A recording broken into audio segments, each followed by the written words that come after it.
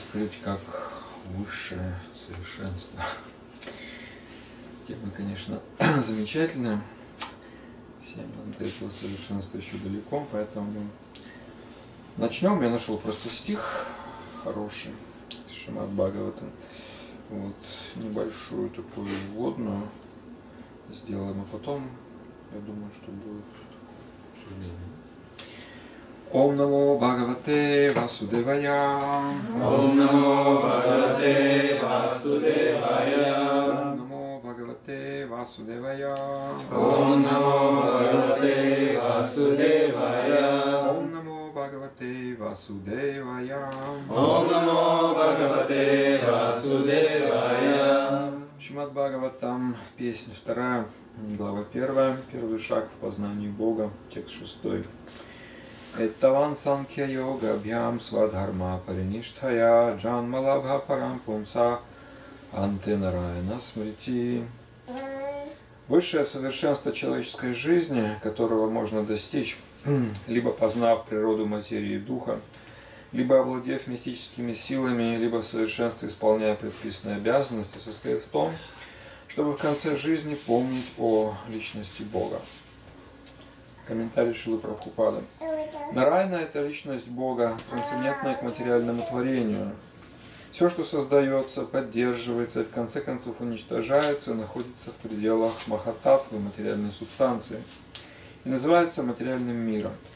Однако бытие Нараяны, личности Бога, не подчиняется законам, законам Махататы, и потому его имя, форма и качество также не подчиняются законам материального мира.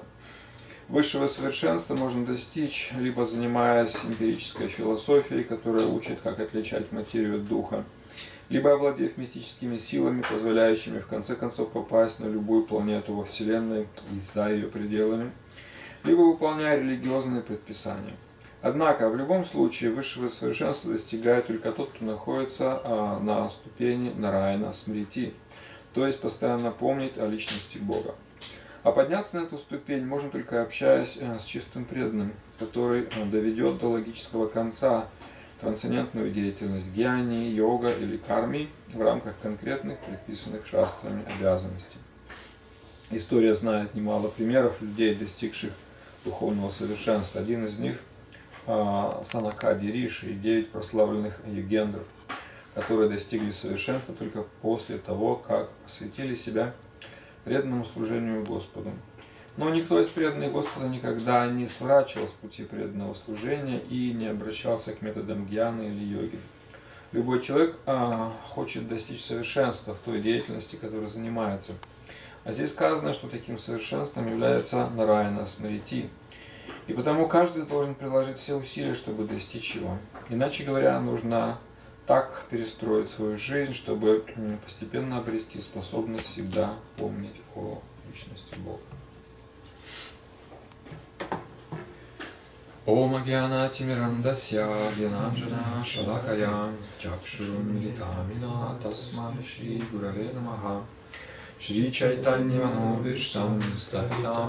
Bhutale Swayam Rupa Katamahyam Dati Svapadantikam Vanchakalpatarubhyascha Kripa Sindhubhya Yacha Patitanam Pavanidyo Vaishnavibhyo Namo Namaha Jai Shri Krishna Chaitanya Prabhu Nityananda Shri Advaita Gadadhara Shri Vasadi Gaura Bhakta Vrinda Hare Krishna Hare Krishna Krishna Krishna Hare Hare.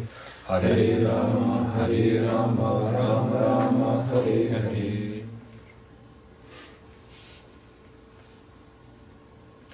Намо Вишну Падая Кришна Приштхая Буталечи Мати Бхакти Виданта Свами Нити Намини Намасте Сарасвати Деви Гауравани Прачарини Нирвиша Шашуньявади Паштити Адеши Тажни Бхям Свадхарма Париништхая Анчанмалабха Парампумсам Антей Нарайна Смрити Высшее совершенство человеческой жизни, которого можно достичь, либо познав природу материи духа, либо овладев мистическими силами, либо в совершенстве исполняя предписанные обязанности, состоит в том, чтобы в конце жизни помнить о личности Бога. Так, это Сута Гусвами объясняет, в чем состоит а, совершенство. Живое существо является вечным слугой Кришны, но в материальном положении, в материальном состоянии забывает об этом. И вспомнить об этом снова, в этом задаче. А, пометование о Кришне не является механистическим. А, все мы имеем опыт механистического запоминания, все мы где-то учились в каких-то там школах, университетах нужно было знать кучу какой-то информации, мы читали, читали, учили, все это там как-то, там сказать, себе в голову вбивали, вот, на ночь перед экзаменом, чтобы вот не забыть. А, то есть есть опыт такого механистического пометования, но если эти темы как-то глубоко нас не затрагивают, то через какое-то время забываем потому что у нас нет а, эмоциональной связи с этой темой. Все это так чисто механически запомнено, запомнено чтобы там сдать, оттараторить, забыть, э, на этом все. А, поэтому здесь говорится ясно, что не о каком-то таком механическом пометовании, что в нужный момент смерти нужно какую-то нужную картинку, так сказать, в голову вставить, и все, вот я, так сказать, готов идти в духовный мир. Нет. А, пометование, оно возможно только тогда, когда а в строгом смысле слова Кришна сам войдет в нашу, потому что он объясняет Бхагавадгите, он говорит, что матах смритиргьянам апоханам ча, от меня исходит знание памяти забвений. Вот, то есть э, память в строгом смысле слова, хотя это функция разума, но разум он опирается целиком полностью на параматму, так сказано в Шримад Бхагаватам. Поэтому э, а Кришну мы не можем как-то вот э, по своей прихоти как-то механистически просто вспомнить. Это его ответ на наше настроение преданности, никак иначе.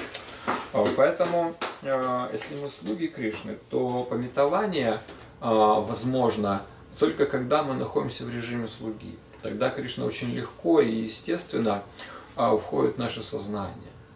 Не то, что я сохраняю концепцию наслаждающегося в этом материальном мире, живу как хочу, я просто услышал о том, что вот если смерти вспомнить о Кришне, этого будет достаточно. Поэтому я не меняю свой образ жизни, я себе, так сказать, кручу и верчу, надеюсь, что как-то Кришна там напомнит о себе. Он же напомнил Махараджи в Харик, что за 7 дней, что смерть, ну и мне напомнит. И вот я, так сказать, в последние несколько дней своей жизни уже там оставлю все свои, все свои развлечения, сосредоточусь, вспомню о Кришне.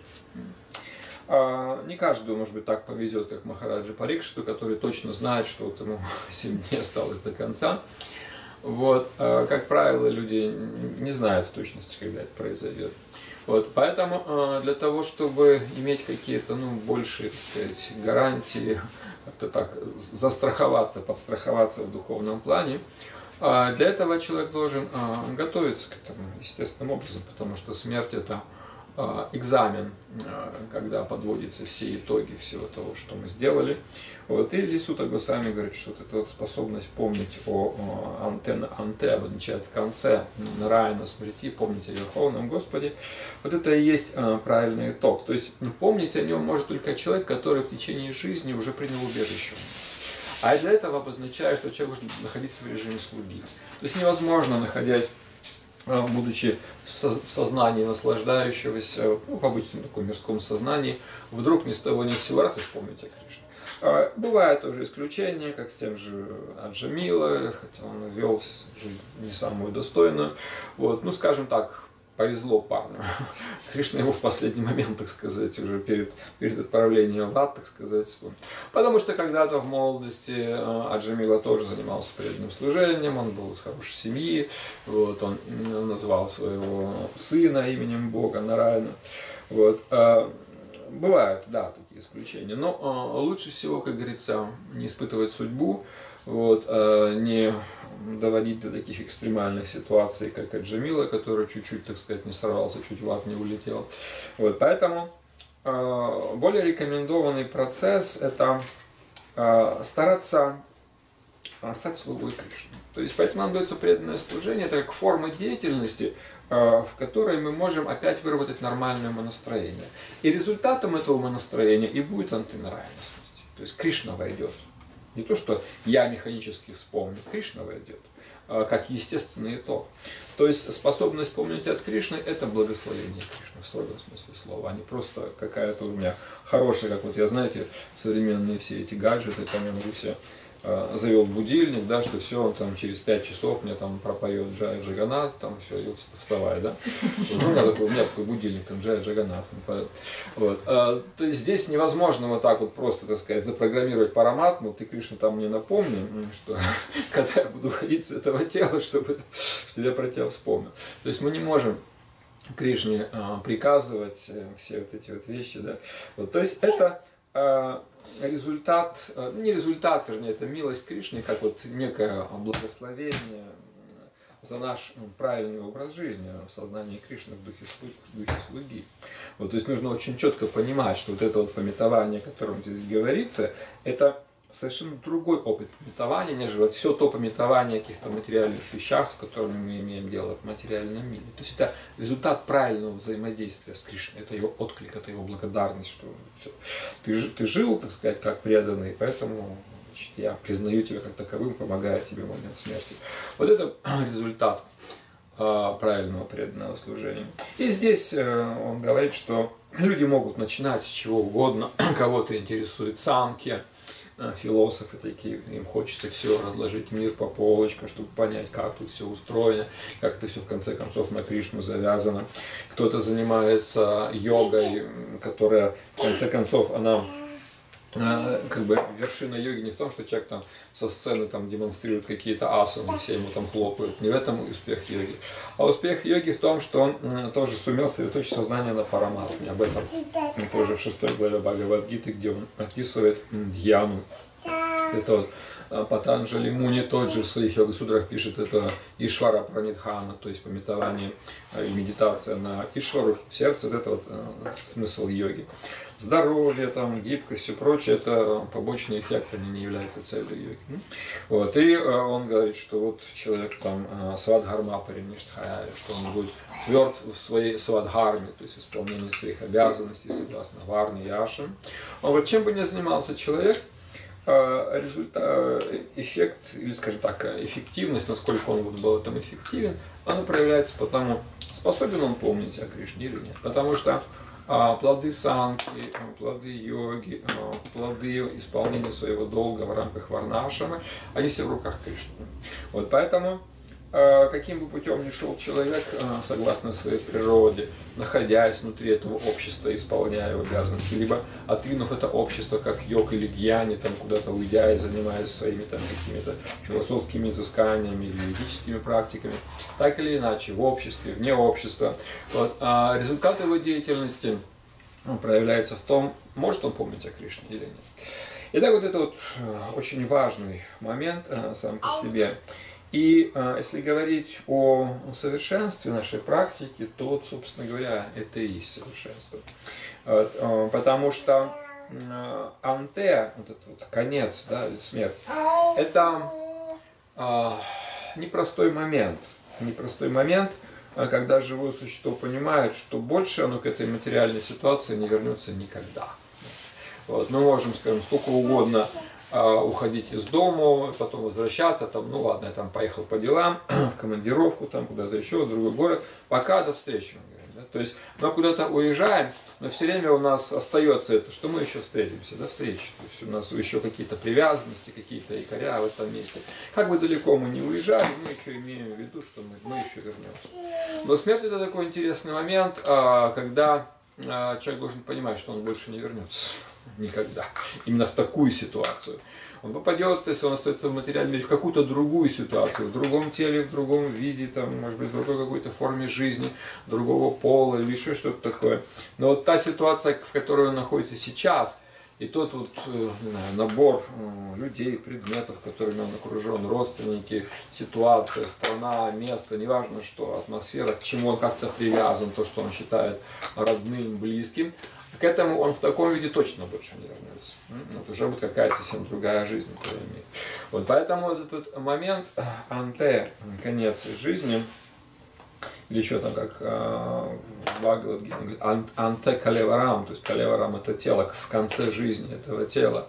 А, или там в другом месте дехантара, дехан, деха это тело, анта конец, дехантара, прапти, прапти, что ты получишь, прапти, после вот выхода из этого тела, дехантара, прапти. Вот, то есть это вот и есть как раз э, самый э, важный такой ключевой момент. Э, и э, человек, как правило, к, таким, к такому серьезному прощанию не готов как правило, не готов. Вот. И э, поэтому э, требуется определенное время.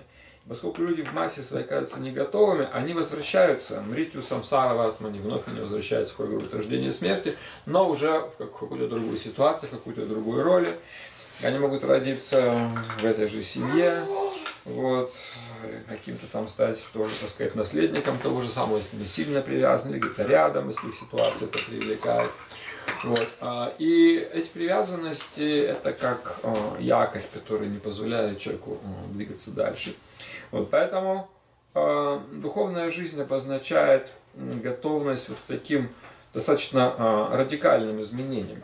Они могут в жизни преданного носить и сами изменения такие небольшие, так сказать, постепенно, послегка. Шила Прабхупада говорю, что э, без резких движений желательно, чтобы не было там всяких там срывов и так далее. Но даже если человек развивается, скажем так, э, плавно, постепенно, все равно он преследует э, цель радикального изменения, потому что а, возвращение в духовный мир – это радикальное изменение, то есть это такое революционное, то есть полностью все переворачивает. Вот, хотя до этого момента, вот, скажем, такого уже радикального изменения могут идти такие вот небольшие. Это точно так же, как, э, допустим, мы знаем, что перерождение даже в материальном мире – человек не сразу развивает э, или получает он тело полубога или какого-то животного, откуда он там идет вверх-вниз.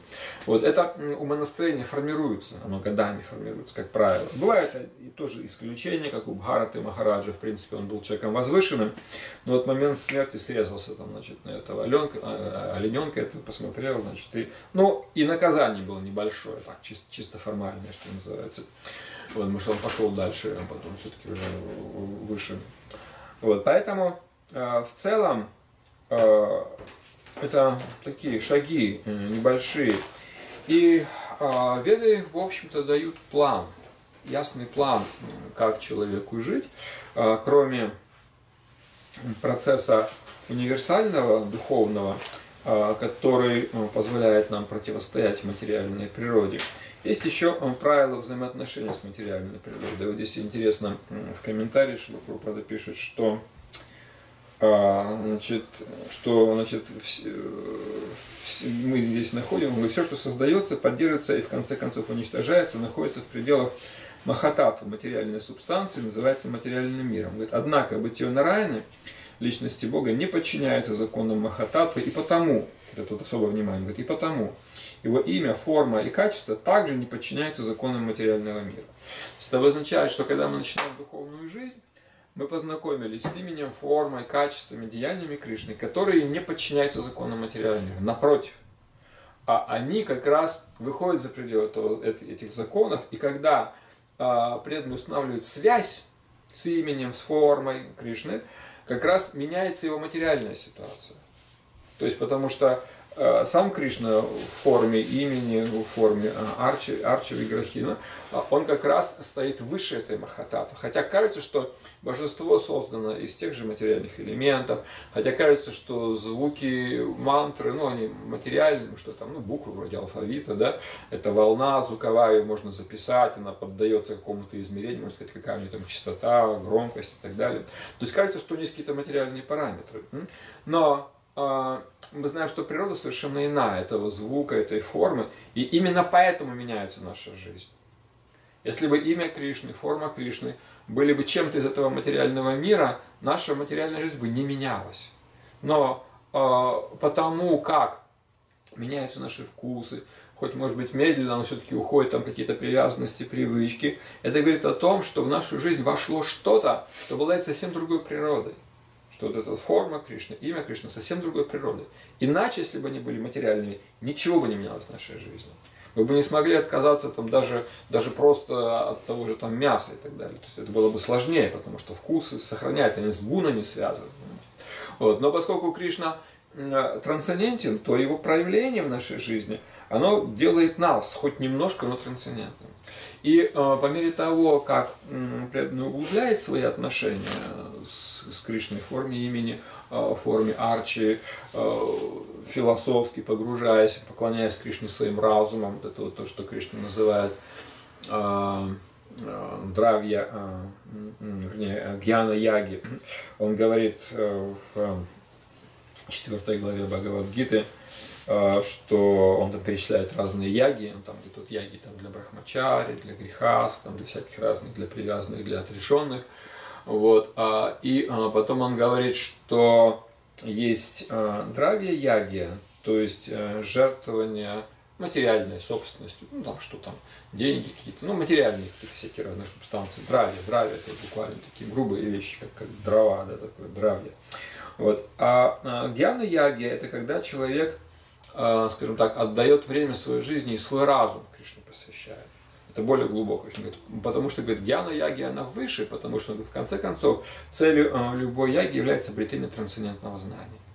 Вот. И в самом конце Бхагавадгиты а, Кришна говорит, я провозглашаю, что любой изучающий эту нашу священную беседу между мной и Арджуной, да, он разумом поклоняется мне. И там Кришна опять использует этот термин гьяна-яги. Поклонение Кришне разумом называют как гьяна-яги. То есть, когда человек а, именно а, своим разумом пытается вникнуть во все эти истины, которые есть не что иное, как мысли Бога. Это мысли Кришны. То есть его, его менталитет, как Кришна мыслит, как мыслит Бог. Как в свое время Эйнштейн говорил, что меня интересуют мысли Бога. Вот не знаю, нашел он Бхагавадгиту или нет, но здесь как, как раз есть мысли Бога по, по, по любому поводу, по всяким разным а, нашим жизненным вопросам. А, и когда человек а, на такой каждодневной основе, особенно через процесс слушания, он в эти вещи, так сказать, в себя впускает, входит, тогда и развивается этот шраваном постепенно вернее, э, через шавна, вернее, развивается смарана, пометование, способность помнить. То есть мы знаем, что процессы идут как Шраваном, Киртаном, Вишну, Смараном. Вот они три таких базовых процесса.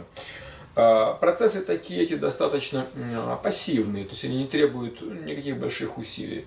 Что нужно, чтобы слушать? Да ничего не нужно, сиди и слушай, да, просто внимание. Что нужно, чтобы повторить, сказать, тоже небольшие усилия. С Мараном тоже достаточно пассивный процесс. Вот дальше уже а, дасим это уже активный процесс. То есть дася начинается процесс служения тогда, когда человек услышал, повторил, запомнил, то есть теперь его деятельность Даси, она уже проникнута каким-то пониманием, каким-то каким пометованием. Вот, поэтому э, начинается э, преданное служение именно вот с этих трех вещей. Шаваном, Киртаном, Вишну Смараном. И принципе, даже если мы не стали там какими-то, ну, не знаю, активными ну, слугами, ну, мало ли, люди уже, может быть, не молодые, больные, всякие разные, да, вот, то есть Кришна говорит, окей, то есть служение, ну, может быть, в уме, через пометование, просто помни обо мне, это уже будет, это уже будет э, формой служения. А, то есть ты удерживаешь меня в своем уме. Вот. А, конечно, скажем, люди, которые там, может быть, как-то более социально активны, молоды, имеют энергию, возможности, а, им рекомендуется и дальше, так сказать, там активное служение, а, проповедь, миссия, что-то что такое, что нужно, так сказать, можно внести, да, какой-то вклад. Вот. Но даже если человек а, не может быть как-то там социально активен для Кришны, хотя бы вот на уровне вот такого пассивного служения, когда человек впускает в себя эти звуки, а, имена, имена Кришны, философию, то есть меняется его понимание. Вот это вот а, очень важно, потому что тогда как раз и развивается этот процесс а, с Мараном, а, как я сказал, не механистический, не просто, что вот я там, человек слушает там какие-то материальные вещи, он тоже просто слушает, слушает, слушает, в конце концов вот запоминает. Есть же люди там эрудированные, да, на все темы они могут говорить, они тоже постоянно читают, слушают. Вот, но здесь а, наш процесс отличается тем, что э, другой предмет слушания, другой предмет служения, другой предмет э, пометования. Вот, то есть, как я сказал, о Кришне механистически помнить невозможно. Кришна как личность, если он ушел, ну, то он, он, как вот люди говорят, дай Бог памяти, да, потому что можно в одно мгновение все забыть, как нас зовут вообще. В какой-то момент раз и, и пошло. Вот это у каждого наверняка был такой опыт, когда человек что-то вдруг у него в голове вспоминает, он, и пошло то какое-то откровение. А в какой-то момент он ну, что-то элементарное просто вообще забыл там и все, и говорит, ну тут не могу вспомнить, хоть убейте. Да?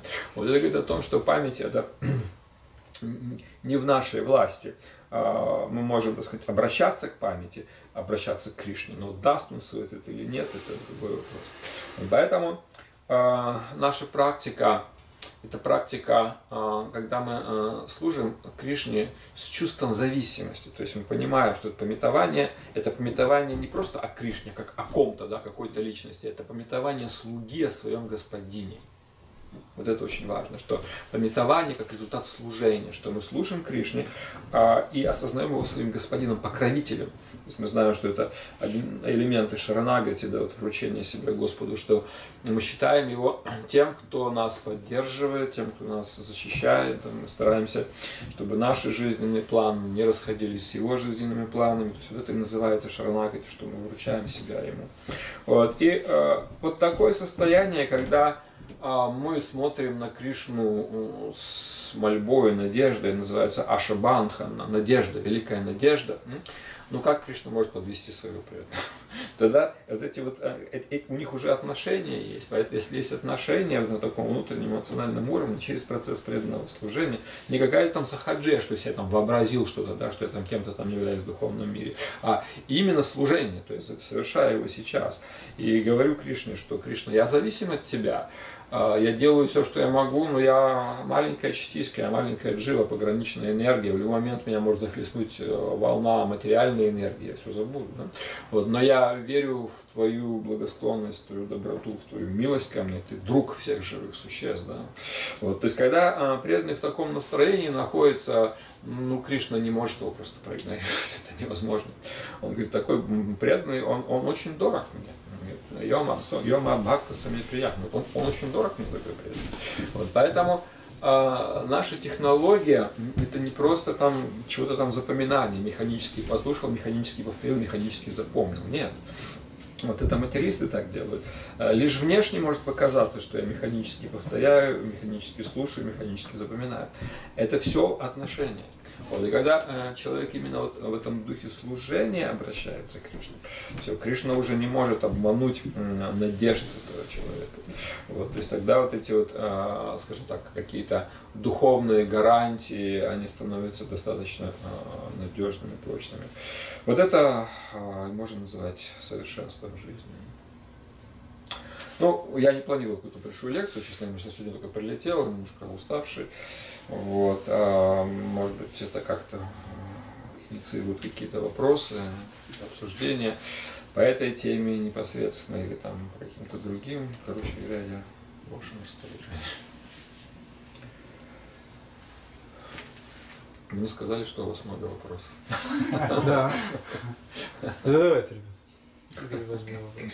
У меня был вопрос, да. Ну, да, у меня был такое желание послушать, может быть, это человек с большим опытом сознания Кришны, много, ну, и вот э, попросить вас какое-то вот, я не знаю, послание для преданных, молодых преданных, какие э, важные вещи в духовной жизни, э, ну вот что, что важно в сознании Кришны. Ну вот сегодня лекция как раз тоже об этом а, вот ваш опыт какой-то. Важно а, впустить Кришну в свою жизнь. Все остальное он будет делать сам. Он будет подсказывать, конечно же, но самое главное, первое действие, как Шила Прабхупада говорит, сначала мы должны принять Кришну. Принять. Принять это обозначает а, согласиться с идеей, что я его слуга, он мой господин, и я а, уверен точно, что он лучше знает, а, в чем мое благо, что должно в моей жизни происходить. Вот, то есть, э, скажем так, в материальном плане не должно быть каких-то ну, больших планов и амбиций. Совсем без планов и амбиций в этом мире мы жить не можем. Вот, но когда мы становимся преданными Кришне, мы говорим Кришне, что у меня есть такие планы, однако я готов к любой корректировке, которую ты считаешь нужной для меня. Вот. И а, тогда а, Кришна будет действовать, скажем так, а, более м, заметно, а, потому что он очень деликатен и а, он не только хочет нас привести к себе, а он также хочет, чтобы мы тоже этого хотели. То есть хочет, чтобы наши желания были в унисон, одинаковыми. Когда он видит, что у меня много каких-то материальных планов, а, вроде как я заинтересовался Кришной, много материальных планов, он не будет сильно принимать участие в моей жизни, пока он не видит, не увидит, что я стану каким-то, ну, более, может быть, решительным, более серьезным.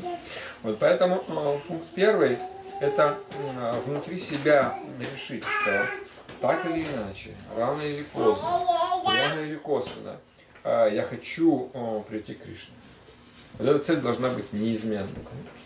Вот. А, и а, внутренне попросить Кришну изнутри руководить вашей жизнью и быть готовым к этим изменениям, понимаете? Вот, чтобы не было такого, так, Кришна, это, это твое действие не соответствует моим планам, я не согласен. Такого, такого быть не должно. Вот, то есть он лучше знает, он уже, в принципе, ведет нас, да, Ишвара Сарва Бутанам Дешевджуна Тиштхати, вот, что он уже ведет машину нашего тела, но он сейчас ведет ее дорогой нашей кармы. Знаете? То есть то, что мы заработали дорогой нашей кармы. А мы бы хотели не просто идти дорогой нашей кармы, а мы бы хотели в конце концов прийти к Кришне. Поэтому мы говорим Кришне, используй мою судьбу, мои склонности, а, мою гунакарму, а, для того, чтобы как-то это все можно было превратить в преданное служение. Вот и все. То есть э, первое действие – это а, впустить э, Кришну в свою жизнь и попросить его, чтобы он вел нас по жизни. Это самое главное. Все остальное тоже детали. То есть здесь нет а, какой-то многозада... многозадачности. Задача всего одна – прийти к Кришне.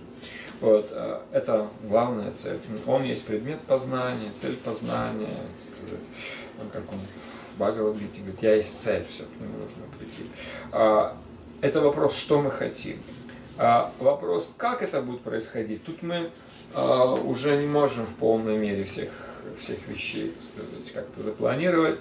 Допустим, вот спросите меня а, 30 лет назад, да, когда я познакомился с сознанием Кришны, что я думал, какие у меня были планы. Ну, совершенно точно э, я понятия не имел, что я стану там проповедником, что-то еще. Я понятия об этом вообще не имел. Я был человеком, ну, э, как, ну, меня интересовало меня знание, да, конечно, я любил там читать, любил поговорить, вот, но я не мог себе тогда представить, что, допустим, моя жизнь именно вот так вот сложится, понимаете.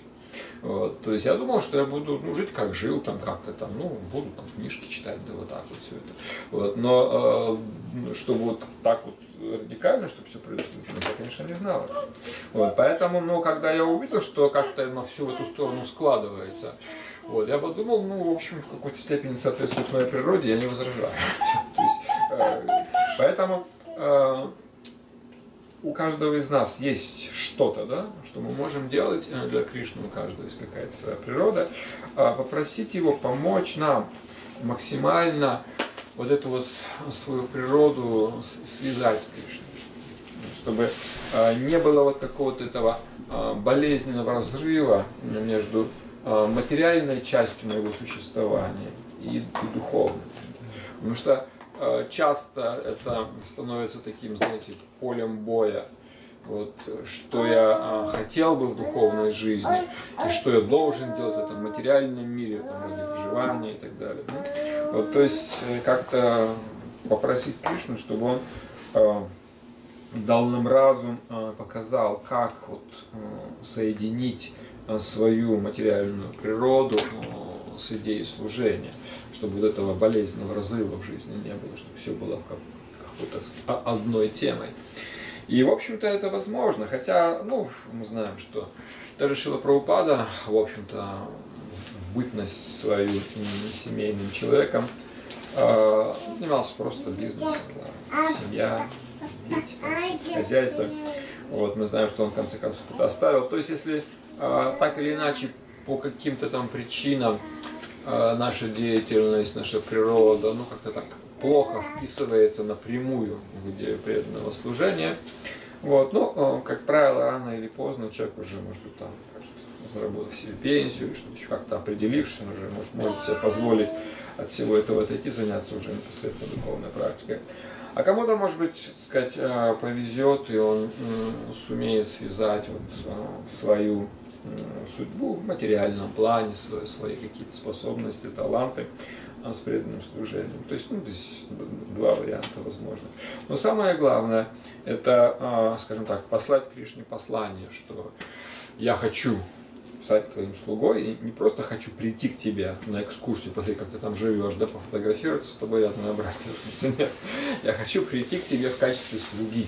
Вот этого понимания, что ни в каком другом качестве Кришне прийти-то и невозможно. Потому что Экали и Швара Кришна Арасала Бритя. Кришна единственный управляющий, все остальные его слуги. Все. То есть, если мой ум согласен на такое будущее, вот, что мое будущее – это возвышенное положение а, через смиренную слугу. То есть это вот такой немножко материалистический нонсенс, потому что а, в материальном плане а, повышение, оно связано всегда с какой-то карьерой, там, человек занимает какой-то все более более высокий пост, он набирает какие-то себе эти самые там регалии, да. А здесь мы говорим, что возвышенное положение это положение смиренного слуги, то есть такой диссонанс в материальном плане. Как это может быть слуга, то есть тот, кто стоит ниже, занимать возвышенное положение. Возвышенное положение занимают там большие боссы, да, и так далее. А вот это вот э, наш такой вот интересный духовный парадокс, ну, что а, возвышенное положение за счет того, что мы становимся слугой слуги слуги. То есть мы не претендуем на какие-то высокие положения, служим Кришне, но поскольку Кришна выше всех, то это и делает преданного возвышенным. То есть не то, что он слуга делает его возвышенным, а то, что он слуга Кришны делает его возвышенным, потому что Кришна выше всех. Вот с этим вот элементом просто в жизни своей разобраться, все остальное, оно уже естественно. Это примерно то же самое, как вот, ну, вы выезжаете на дорогу, да? Что здесь самое главное? Самое главное это понять, куда вы едете. Вы не знаете точно, там, какие еще будут впереди, да, может быть, там что-то перекопали, там что-то еще, закрытая дорога. Это уже навигатор вам покажет, да? Вот, но ваше действие это сделать правильный выбор. Я хочу поехать вот в это место, все. И вы, и вы, вы его вбиваете, да, вот этот навигатор, что я туда хочу приехать.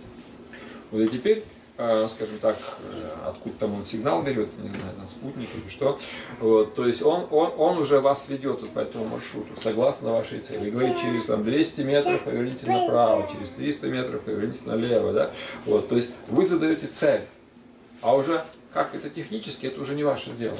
Вы в данном случае полагаетесь на некий навигатор. Так вот, это же самая идея. Кришна наш навигатор. Он направляет скитание всех живых существ. Поэтому вот последняя молитва еще Панишат, где там своим Маму говорит, «О мой Господь и сильный как огонь, веди меня верным путем».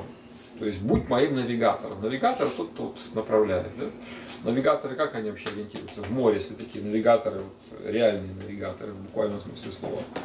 По звездам. Потому что звезды, они а, неподвижны сами по себе. Они неподвижны звезды. Вот. Поэтому по ним можно, так сказать, э, двигаться, ориентироваться. Точно так же э, Кришна, вот это как полярная звезда, да, она такая, почему ее называют э, Дхрува, то есть такая неподвижная твердая, потому что она как раз и представляет это, это есть Вайкунха в материальном мире, это Вайкунха материального мира. Вот, поэтому она является э, ориентиром для всех. Вот, то есть вот, вот этот вот момент. Выбрать цель э, и быть готовым следовать командам, поворачивать направо, налево.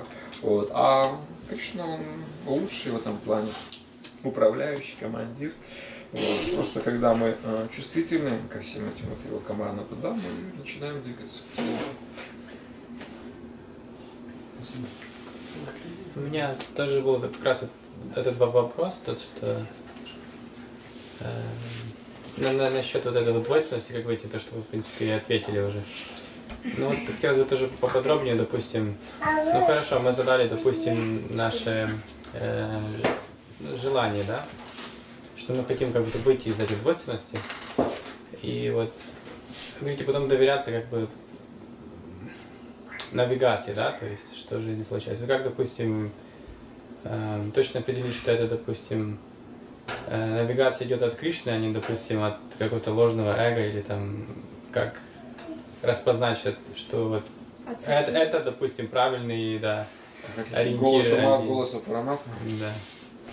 Потому что голос ума, мне кажется, ну, сильнее иногда. Даже почаще сильнее, чем параматма. Да, есть такая проблема. А, поэтому а, преданному неплохо какие-то такие вот ключевые знаковые действия в своей жизни Э, согласовывать с кем-то, кто знает его природу.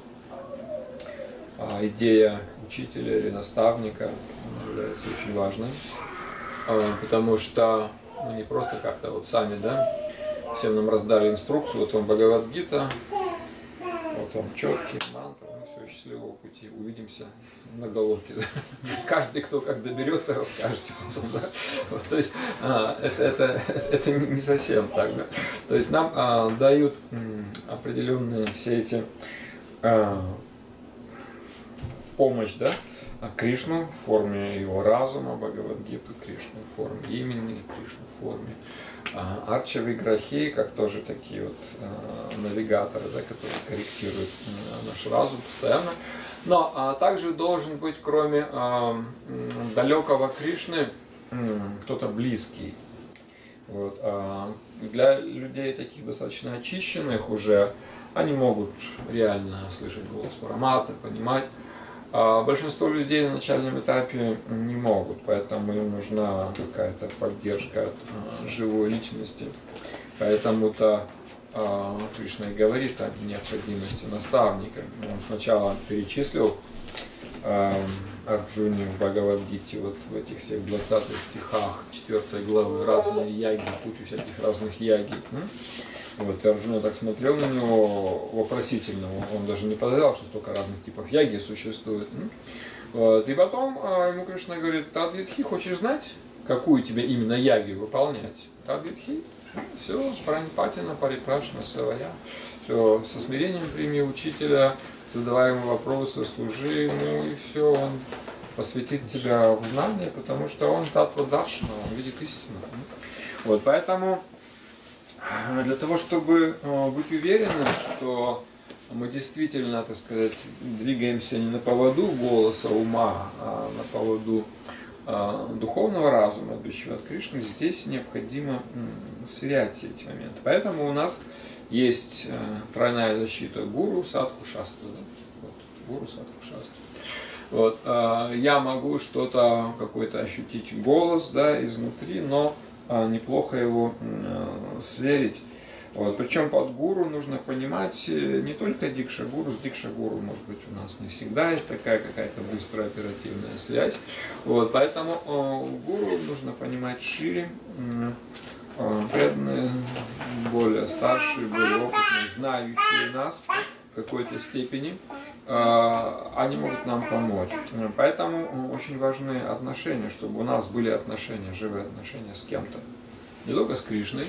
Вот. Понятно, с Кришной с ним может самое приятное общение, что он самая совершенная личность, у нет недостатков, да? Вот. А у других людей мы говорим, ну да, вот он хорош, но вот у него там какие-то тоже есть недостатки.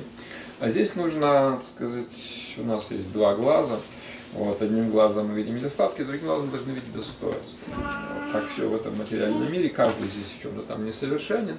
Вот, но, э, тем не менее, тем не менее, если мы находим человека, который хотя бы, так сказать, у него на 1% больше достоинств, чем недостатков, это значит, что он уже может быть нашим наставником.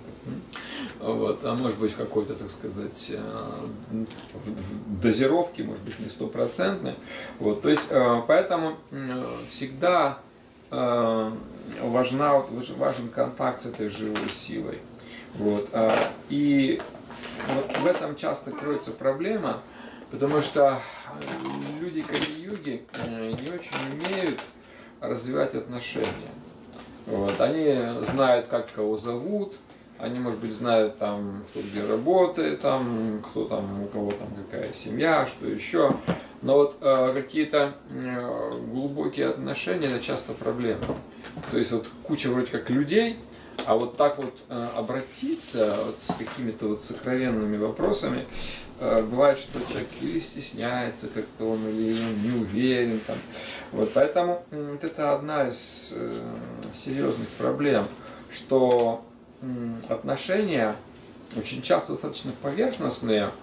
Э, мы говорим э, больше э, о делах, нежели вот о людях, как вот, которые, ну, что они представляют себя внутри. Как дела, что нового, да там, ну вот там э, были там на, на фестивале или что-то еще, было то-то, то-то, то-то там. То есть э, какой-то такой, мы обсуждаем событийный ряд, что, где, кто там, когда, чего, с кем сколько, да. Вот, но какие-то вот э, глубинные вещи, то, то, о чем Рупа Госами говорит, это вот а, доверительно открывать свой ум и спрашивать о сокровенном. Вот эти вот вещи он говорит, это вот шесть типов любовного обмена между преданными. Вот это требует, а, скажем так, достаточно редкая вещь встречается, к сожалению, понимаете? И поэтому а, получается, что вроде как и люди есть, и там приходишь в храм, там толпа, куча людей, да, харибол, харибол, тут все такие знакомые. А вот, что какое-то такое доверительное, глубокое общение, бывает, что достаточно проблемно. И поэтому вроде людей много, Дикша Гуру где-то там вдалеке, вот, а я думаю, ну, вот что, что от меня Кришна хочет сейчас.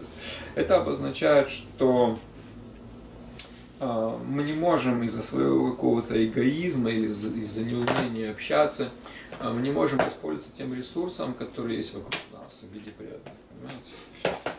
Вот, это вот сложность людей Кали-юги, они такие миллионные, многомиллионные города, в которых живут какие-то вот э, зомби, одиночки такие вот, какие-то закрытые, замкнутые, все там, наушники в ушах, все включено, ничего никого не видит, в толпе он плывет, там от всех. Вот. А, это вот особенность, особенность э, Кали-юги, такое очень сильное разобщение население 7 миллиардов, а отношений нет. Вот и все, как говорится, так сказать, на, на волоске. В любой момент может ну, загреметь. Вот, потому что э, не то, что отношения, бывают отношения такие, что, что лучше бы вообще их не было, чем такие. Вот. А это вот особенность Кали-юги, Кали, эпоха конфликтов. А, и вот это создает сложности, потому что возможностей достаточно много вокруг, но как вот люди, они как такие, вот знаете, вот опоры, но между ними мостиков нет, мостов нет, отношений вот этих вот нет. А, и поэтому а, каждый как-то вот сам в себе варится немного и не знает, что с своими проблемами делать. Редко-редко кто там как-то может открыться. Вот, в основном люди общаются со своим собственным умом. это не самая лучшая санга. Вот, поэтому вот если все-таки мы находимся достаточно а, смирения, вот, и как-то вот просим Кришну послать нам кого-то, кто мог бы а, нам помочь, да, а, как учитель, как наставник, вот тогда а, этот вот вопрос, как отличить голос ума от голоса параматмы, он э, снимается, то есть нам могут помочь. Это как вот неопытный грибник, он перепутает там белый гриб и ложный белый гриб, они похожи. А опытный, он сразу понимает, а тут есть такие признаки, не, нет, ты ошибаешься, это, это, это, это яд, это ядовитый. Вот. А, точно так же э, глаза эксперта, они всегда лучше, чем глаза дилетанта. Дилетант посмотрел, да вроде нормально. На эксперт говорит, это подделка, не бери. Потому что у него особый глаз, он видит какие-то детали, по которым он а, определяет все эти моменты. Вот, поэтому а, вот э, сфера отношений это такой невостребованный ресурс, э, который очень мог бы нас поддерживать. Если он востребован, все есть, цель известна, поддержка есть, все вперед. А так, если цель известна, а так я стою в нерешимости, в духовный мир, ну а как тут, что, я не знаю. Вот поэтому э, правильная санга – это ресурс. И люди, которые сумели найти вот такие вот отношения, как правило, они больше защищены в духовной жизни, э, чем люди, которые скажем так, боятся открыться и боятся кого-то о чем-то там спросить а, из-за каких-то своих таких вот, не знаю, калюжных страхов и комплексов. Вот, и э, получается, что они теряют много времени, в нерешительности проводят много времени, вот, в то время как это вот общение оно очень быстро могло бы разрешить их проблемы.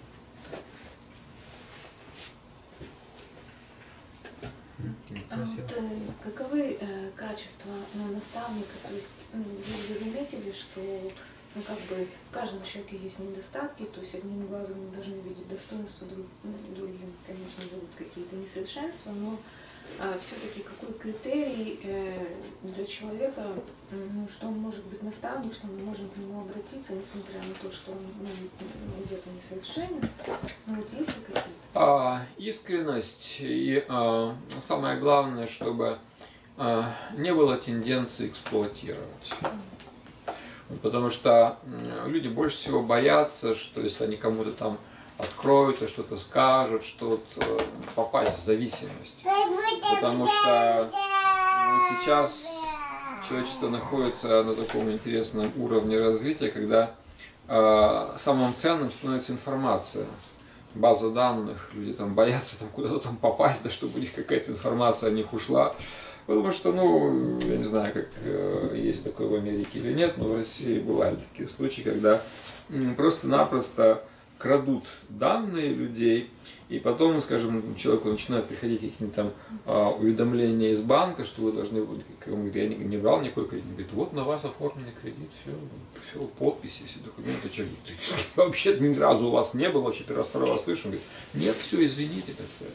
Вот, то есть это а, кража а, данных, она может обернуться трагедией для человека вообще, то есть его может родить, что знает, что, в раба полного, да. Вот, поэтому а, люди а, такие немножко вот э, напряженные, закрытые, боятся что-то, да? Вот, и вот это вот, э, потому что, потому что действительно в Калиюгу очень много всякого мошенничества, там, э, манипуляций, использования в своих целях. Э, поэтому э, человек, который, э, мы можем открыться, довериться человеку, который имеет дух служения, который свободен от духа эксплуатации. Он может быть не все там идеально знает и так далее. Но если мы видим искреннюю душу, искреннюю душу, которая не желает никого эксплуатировать, в есть дух служения, вот, э, велика вероятность, что через этого человека Кришна будет проявляться больше. Он больше проявляет через таких чистых искренних людей. Но это, конечно, на вес золота. Э, тем не менее, я абсолютно убежден в том, что а, никакого дефицита а, у Кришны не существует в плане учителей, наставников и наставлений. Потому что иначе это было бы абсурдно, да, согласитесь. Он начал такую масштабную миссию по распространению знаний, книг, всего. И тут вдруг раз люди говорят, ну, ну, мы вот мы хотим, да, Кришна, мы хотим к тебе. А он говорит, а вот извините, а вот, а вот с учителями, с наставниками, ну как же мы так? Никакого дефицита нет. Вот. А есть эм, нехватка видения, нехватка понимания. Вот. А, может быть, есть не совсем правильное понимание, что, не знаю, учитель, он прямо должен быть там ну, какой-то вообще великий, весь там на нем должно быть там, 20 гирлянд, да, и все, он там весь должен быть не знаю, каких-то титулах. Вот, то есть, э, если, может быть, мы не совсем правильно а, понимаем эти моменты, то мы ищем таких людей, и они действительно там встречаются где-то очень-очень редко. Вот. А в действительности э, Кришна, как мы знаем, Пурнам, он Пурнам, Адха Пурнам, да, в нем, у него всего полно, полностью. Вот. А, и только мышление скупца может нам помешать видеть вот эти вот э, и вхути, и богатство, а, и полноту Кришны. Вот. Э, просто, просто это абсурдная идея о том, что э, у Бога, а, который полон возможностей, полон себе, у него нет вообще ну, полной, ну извините, ребята, миссию я начал, но не предусмотрел одного момента, да, что-нибудь, поэтому все отменяется, там дым в трубу, пирожки разлетит, все там раскроемся по домам, да. Вот, ну, ну не может Поэтому а, все, что нужно, это просто а, навести резкость посмотреть по сторонам, и наверняка мы увидим, так сказать, а, возможности, мы увидим, так сказать, людей, вот. Э, и опять же, если, мы, если Кришна ведет нас из сердца, то мы просим, приведи нас, приведи нас к наставнику, приведи нас к учителю, дай нам, так сказать, познакомь нас с какой-то искренней душой, которая может направлять нас. А у Кришны нет никаких недостатков. Это, с него исходит бесконечное количество экспансий. Просто наше вот мышление, мы привыкли, вот это вот мышление дефицита, мы привыкли так думать и говорим, ну вот, не хватает того, не хватает, не хватает видения. Не хватает видения того, что всего достаточно. Поэтому у нас такое может впечатление сложиться.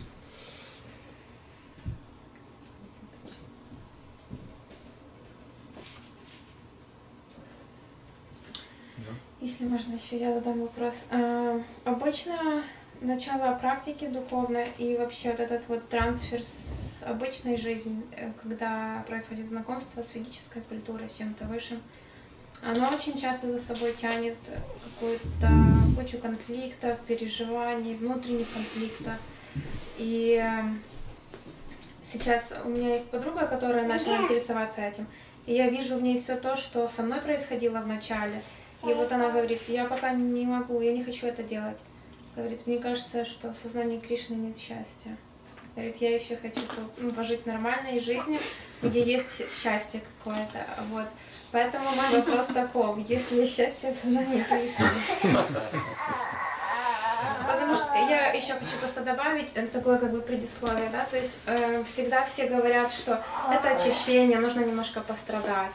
Иди там помой полы в храме, это очищение. Приехал в Бриндаван, болеешь, это нормально, это надо перестрадать, это очищение. И как бы, ну, создается на самом деле впечатление, что сознание Кришны создано для того, чтобы все страдали. А, да, такое впечатление может сложиться. Впечатление, это не так, но такое впечатление может сложиться.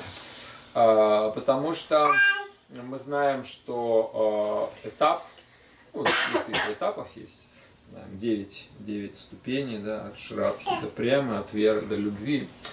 Вот. И э, до момента, э, скажем так, анарха неврити, ну, включая этот момент анарха неврити, как очищение от анарха, этот момент, он может быть немножко болезненным, потому что э, происходит этот вот разрыв с материей. Разрыв с материей, он болезненный. Э, после анарха неврити Э, остальные стадии, их можно назвать таким одним позитивным артха праврити, то есть развитие позитивных тенденций. Вот. Э, тем не менее, эм, мы не занимаемся тем, что вот сначала мы там порубили все, э, пожгли все мосты, да, значит, все там от, от, разрубили все связи, и вот теперь свободные, да, полностью вообще от всего, приходим говорим, ну где тут Кришна, сейчас ему предамся. Да? Вот, то есть э, в действительности э, происходит как раз обратно. То есть сначала мы принимаем Кришну, вот, и э, вследствие этого он начинает постепенно, так сказать, вот, э, эти вот, э, то, что э, в 15 главе Бхагавадгиты Кришна говорит, тот, кто избавился от ложных связей. То есть вот, э, материальный мир – в материальном мире нас удерживают ложные связи. Ложные в каком смысле? Они кажется, что они вполне реальны. Ложные в смысле, что они не являются ценными. Это ложные ценности. У нас установились а, прочные связи с ложными ценностями. Вот, а, и поэтому, когда мы принимаем Кришну, а, начинается это такой постепенный процесс нашего возвращения И а, он начинает проявляться в том, что начинают эти вот э, микроразрывы какие-то такие вот старые уже друзья, там что-то еще, может быть, это уже не интересует.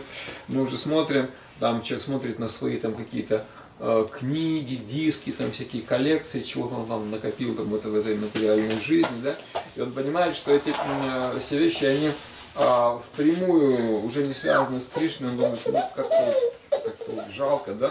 Кто-то кто легко растет с этими вещами, кто-то, так сказать, долго думает, ну, пусть полежит пока, сказать, в сторонке, выкинуть всегда успеем, да, или продать там что-нибудь. Вот, то есть э, происходит такая некоторая э, как это сказать, дезадаптация. То есть человек вот, он адаптирован в какую-то определенную материальную среду. Когда он узнает об этих э, высших ценностях, а, вот это вот дезадаптация, это как, ну, допустим, он прилетел с другого часового пояса, да, там другое время, или с другого климата, вот происходит какая-то вот акклиматизация к новому времени, к этому новому климату привыкаешь, и пока человек привыкает, он чувствует себя как-то пока неважно, да, пока вот его энергобаланс, как говорится, такой восстановится. Потому что а, материальная природа, она же тоже божественная природа, это же его энергия Кришны. Поэтому мы э, из этих гун получали какую-то пищу, из, бла, из страсти, из невежества, какая бы она ни была, но она тоже питает нас, допустим, э, животные, растения. Они же откуда свою силу-то берут? Из материальной энергии, из гун, понимаете? Поэтому они сильные, земля их поддерживает, все это вот такое. Вот, э, поэтому э, живое существо научилось принимать прибежище материальной природы, и когда ему говорят, теперь ты вот это все брось и предайся Кришне, это целое дело, потому что э, развернуть ум на 180 градусов, вот эти вот все э, привычные связи, которые внутри нас есть, то, что вот мы умом, чувствами внутренними привязаны к этим ценностям, к каким-то там к людям, там, к разным источникам силы материальной, мы к ним привязаны. Да? И вот теперь мы узнаем, что а эти все вещи, оказывается, обладают ценностью только потому, что на них слегка отражается энергия Кришны. Поэтому мне он кажется привлекательным. И нам говорится, что вот это отражение нам нужно к реальности перейти, да, к оригиналу, к тому, от кого все это исходит. Вот. И э, вполне естественно, что есть э, сила привычек, стереотипов, развитые какие-то вкусы и так далее.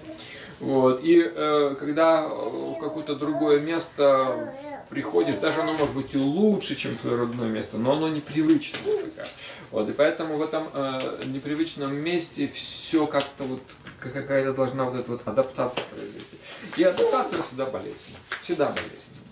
Вот, э, поэтому э, то, что люди говорят, да, там э, какой-то вот этот вот разрыв с материальной природой он болезненный. Но поскольку мы не практикуем какое-то вот, ну, отречение ради отречения, а мы практикуем все-таки привязанность к Кришне, вот, то чем больше наша привязанность к Кришне, тем более безболезненно проходят эти вот все вот разрывы связи. Вот. Другое дело, что а, иногда преданные очень так ретиво пытаются все, так сказать, по-быстрому порвать. Вот. И иногда они ну, просто так вот как-то искусственно создают какие-то проблемы, которых, по идее, быть не должно. Конечно, да, если бы мы жили в традиционном обществе, которое ну, благочестиво, все там, ничего не нужно рвать ни с кем, там просто вот Кришну добавь и все, там проще, да. А когда мы живем в цивилизации, где все пронизано этими низшими гунами, вот, то низшие гуны, их с Кришной напрямую связать достаточно сложно. Вот, поэтому мы говорим, что от низших гун надо бы там благости как-то вот подняться, да, и уже потом в благости легче практиковать духовную жизнь. Вот. И э, поэтому здесь дело-то не в Кришне часто, а э, в переходе даже просто от э, невежества и страсти к гуне благости. Понимаете, даже вот, вот эти все моменты. А, это, это, это, да, такой период некоторой дезадаптации. Но а, что а, компенсирует эти моменты? компенсируют эти моменты достаточно много позитива. Вот, если, если мы действительно принимаем Кришну в форме звука, философии, знаний, вот новых вкусов – то это очень мощный, так сказать, ну, компенсирующий фактор, если это действительно происходит. А, если сознание Кришны подается как некий свод запретов, что вот нельзя то, нельзя это, там все вокруг нельзя, вот люди говорят, да что ж такое вообще, да, то есть от, отрывают меня от всех этих вот привычных источников какого-то счастья, удовлетворения, в которых я жил, и вместо этого мне говорят, а вот в ведах говорят нельзя, и вот пальцем так мне грозят, и человек думает, ну боже мой, вот что ж такое. Вот, то есть э, это обозначает не совсем правильно. То есть э, Шила Прабхупада не так подавал сознание Кришны. А, он сначала приходили, кто приходили, всякие разные люди приходили непонятные, вот, но э, он всем им э, давал вот эту вот крупицу трансцендентного опыта, понимаете, они все как-то включались, они переживали какое-то вот это вот, пускай оно может быть и отраженное, но какое-то вот хотя бы, так сказать, волна этого какого-то вот киртана до них доходила, что так, что это не просто какое-то материальное пение, это медитация, через которую они контактируют с Кришной. Вот. То есть э, они, они все, э, никто из них не пришел э, в искон для того, чтобы бросить там пить, курить, там, принимать наркотики. Никто из них не пришел за этим. То есть получилось так, что привлек их какой-то более высокий вкус, какое-то понимание. Вот. И вследствие этого, вследствие этого, как Кришна говорит, парам дриштва, не варта те, то есть испытав более высокий вкус, тогда уже человек сам избавляется.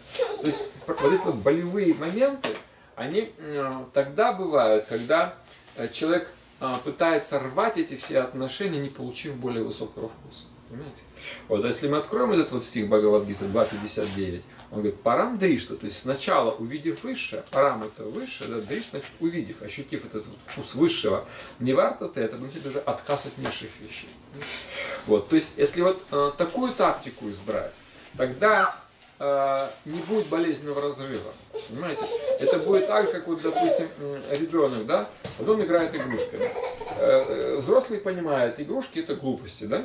Вот. Э, но это ребенок, он, он не может без игрушек, да, и поэтому, хотя все взрослые понимают, что это все ерунда, они покупают эти игрушки, знают, что через три дня их сломают там, или еще что-нибудь, все равно они это делают.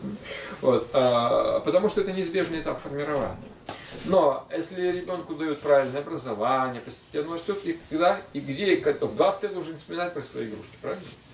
Потому что уже, уже другие дела, он уже в какой-то другой реальности находится. Вот, поэтому правильный процесс, это вот это как раз парам дриштва невартате.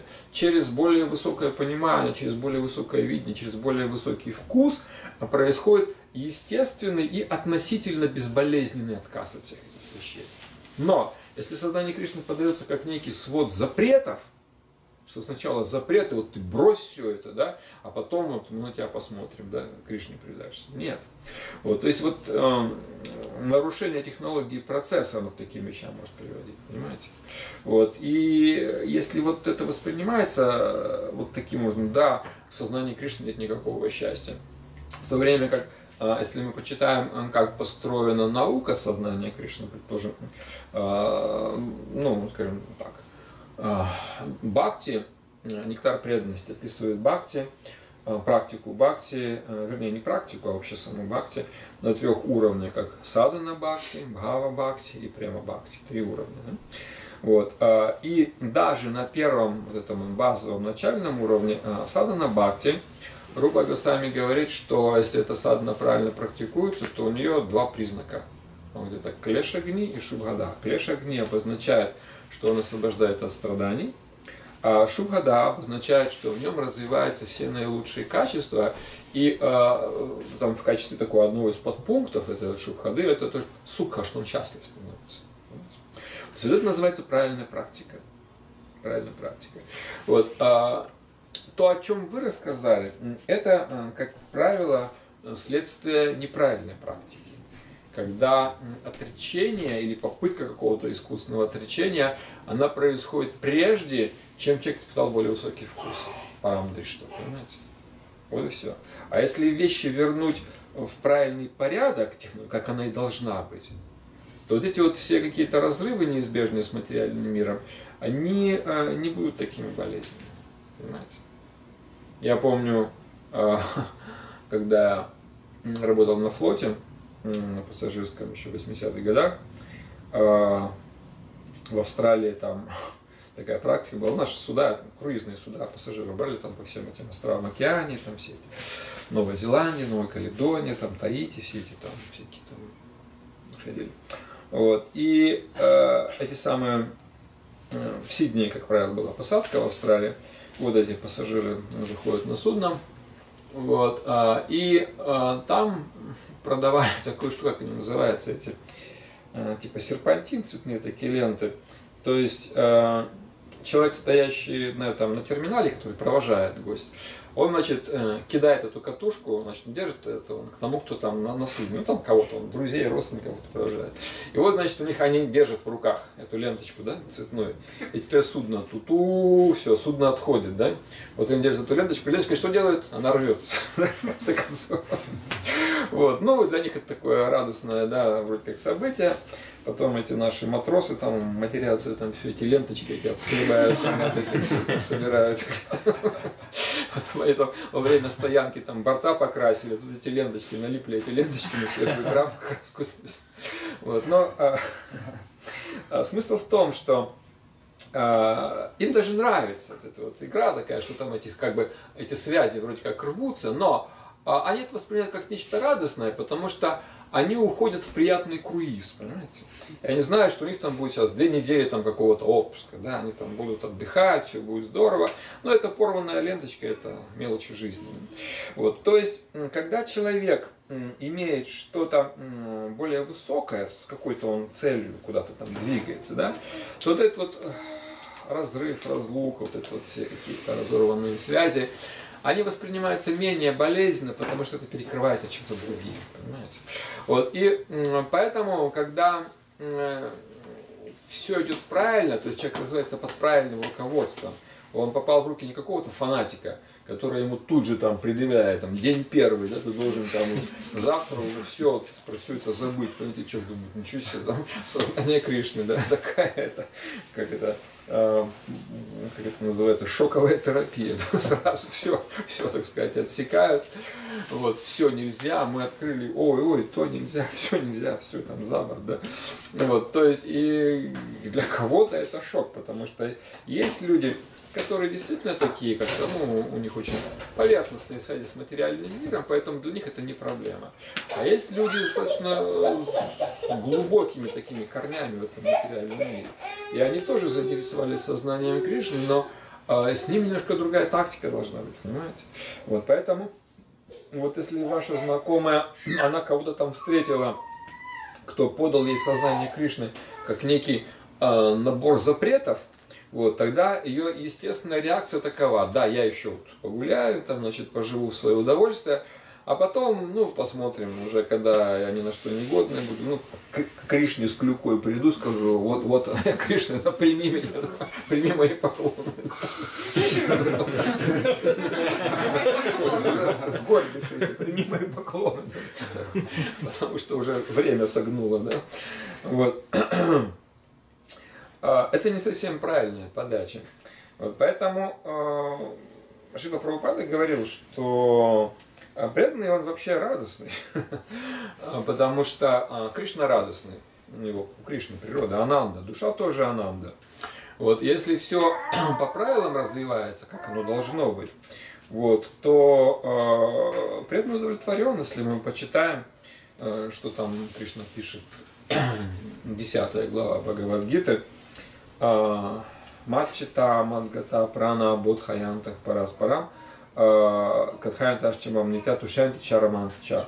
Он говорит, что мысли моих преданных обращены ко мне, их энергия жизни посвящена мне, они общаются друг с другом. а, просвещают друг друга, бодхаянтах буквально пробуждают друг друге разум духовный, да, чтобы лучше знать. И он говорит, а, они, так сказать, вот э, катхаянташ чамам нитя, то есть они постоянно в этой катхе находятся, и он говорит, тушьянти ча, романти ча, то есть они удовлетворены, тушьянти, и романти, они счастливы.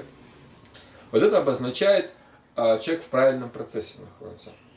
Если э, преданный, понурый, хмурый, Э, прям вот что-то ему такое опять там со страшной силой там тянет каким-то вот материальным вещам, это обозначает э, определенное нарушение технологии. Понимаете? Вот, то есть э, с материальным миром, хотя понятно, что красивого развода здесь не будет с материальной энергией, обязательно будет какой-то хотя бы микроскандал, так сказать. Вот, но по меньшей мере, если все делается правильно, вот, то все вот эти вот болезненные вот эти вот моментики, так сказать, связанные, они сводить СМИ к минимуму, понимаете? Вот, потому что окончательный разрыв, конечно, он всегда будет немножко болезненным.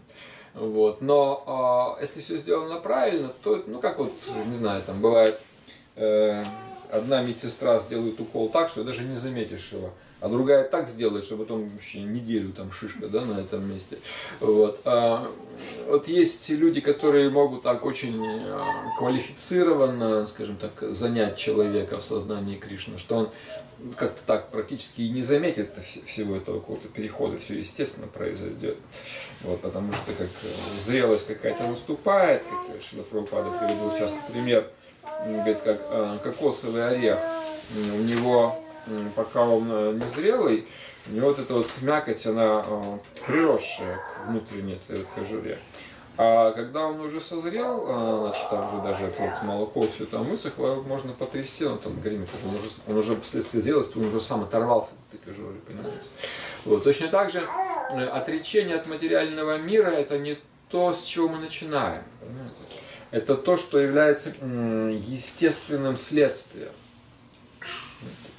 Вот, то есть, вот, э, опять же, Бхагава там взять сначала, Кришна говорит, не Кришна, а Сута Госвами говорит, Васудеви Бхагавати, Бхакти Йога Прайоджадаха Джаньяти, Ашу Вайрагьям Гьянам Чадьядахайтукам. Он говорит, вследствие занятия преданным служением Васудеви, служение сначала Васудеви Бхагавати, это первое, да, Бхакти йога Прайоджадаха. То есть, когда Верховному Господу Васудеви человек практикует бхакти йогу, что в нем развивается? Он говорит, «А, Джанаяти, Джанаяти Ашу, Ашу значит быстро, Вайрагия, отречение и Гьян, знание. Понимаете? Вот, ахайтукам, то есть ахайтукам, значит, без каких-то дополнительных там, причин, естественным образом. Понимаете? То есть первое, что приходит, первое, вернее, это человеку это займись служением. То есть э, не, квалификации не требуется никакой, вообще ноль. Понимаете? Никакой квалификации. Прабхупада говорил, добавьте Кришну. Это первое действие. Вот когда Кришна вошел в нашу жизнь, он вошел, кто-то кто выйдет обязательно. Кришна входит, Майя выходит. Так все устроено. Свет зажгли, тьма ушла. Они не могут одновременно. Пол комнаты свет, пол комнаты тьма. Такого не бывает. Да? Свет зажгли, Майя ушла. Вот, поэтому здесь смысл в том, что мы человеку просто даем Кришну. Просто прими Кришну.